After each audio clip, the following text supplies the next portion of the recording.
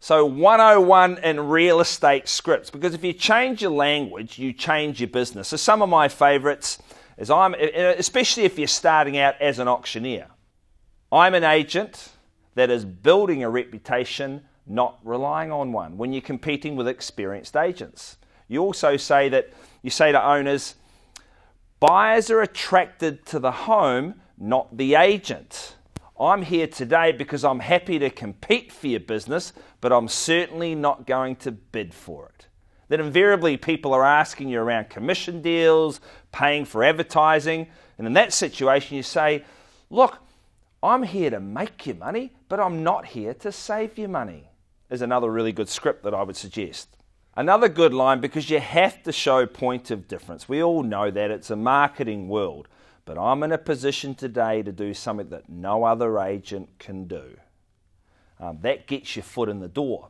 If someone says no to you, because invariably we're in the not now, no thanks, not interested business, you say, is that no for now or is it no forever? And invariably people will never say ever, it keeps your foot in the door. Uh, people will say when they know you're in real estate, what's the market up to? And inexperienced agents will go blah, blah, blah, blah, blah, blah, blah. No, no. What's the market up to? It all depends. Are you selling or are you buying? Scripts and dialogues will change your business.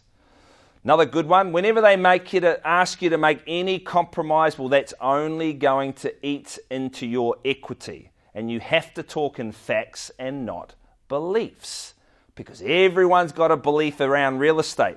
But what are the facts? I.e., in auctions in Auckland at the moment, the facts for me are we have an average of three bidders turn up. On the day, it costs you $1,188 to get one bidder at your auction. So we say to owners, well, how many bidders do you want at your auction? They are facts, they are not beliefs.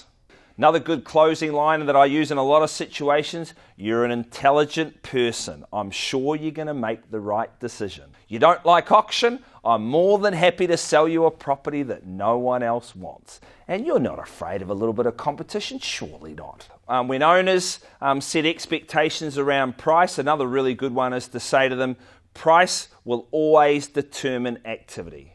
If your price is right, the market's going to hit. If your price is wrong, then you're choosing to keep your property. And they come back and say, Yes, but you told me my property was worth a million dollars.